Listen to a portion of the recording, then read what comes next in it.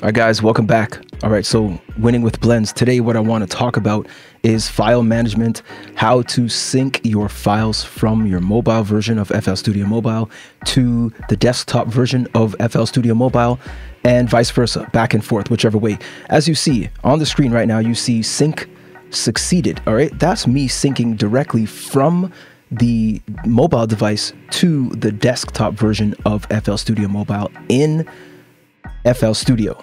All right.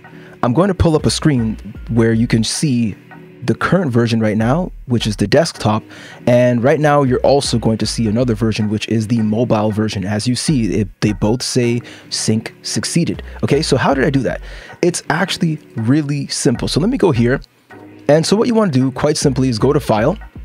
Very quickly, go to this, tap the icon right here, the logo, the FL uh, Image FL Studio logo, and right here, you click Direct Share.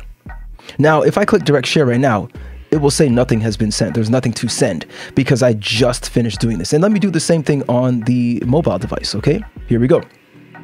Right, I did a few syncs. So I'm gonna do the same thing. I'm gonna go up here, tap that, and I'm going to direct share. Now, if I click this button, you see it right there. If I click that button, the button that I click, I'm going to directly share from the mobile to the desktop. So I click that and I'm going to choose to either sync all, send all, which will send all of the data, which includes the various packs that you may have purchased from the store. Okay. But if you just send your own, it's going to send your files alone. So I'm going to read this. It says update the plugin with all the samples and library content or just your files. In this case, I'm just going to do my files.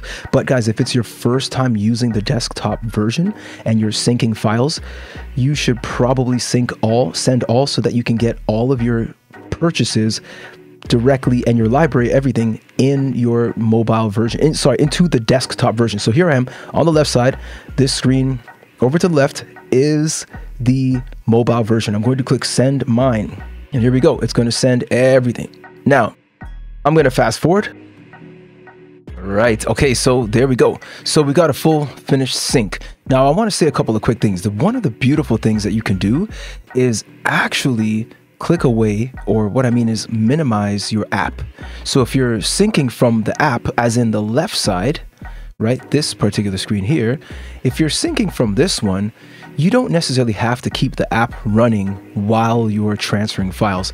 I personally love that. It makes for such a better use, uh, just just for a good streamlined process, and you can use your mobile device for something else in the meantime.